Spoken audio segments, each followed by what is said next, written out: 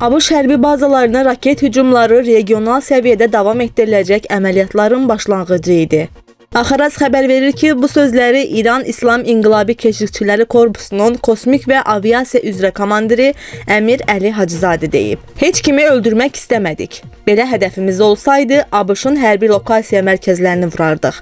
Yüzlərlə raketin hazır olmasına baxmayaraq, sadəcə 13 raket atmaqla kifayətləndik. Heç kimi öldürmək istəməsək də, onlarla insan öldü, yaxud yaralandı. Əməliyyatı ilk mərhələdə 500 insanın öldürülməsi səviyyəsinə çatdıra bilərdik. Əgər ABŞ qarşılıq versəydi, itkiləri 4000-5000 arasında olacaqdı, deyə Hacızadə bildirib. Əziz izləyicilər, əgər kanalımıza abunə olmamısınızsa, videonun aşağısındakı abunə ol düyməsini və zınqrov işarəsini basın. Videonu bəyənməyiniz və şərh yazmağınız bizim üçün önəmlidir.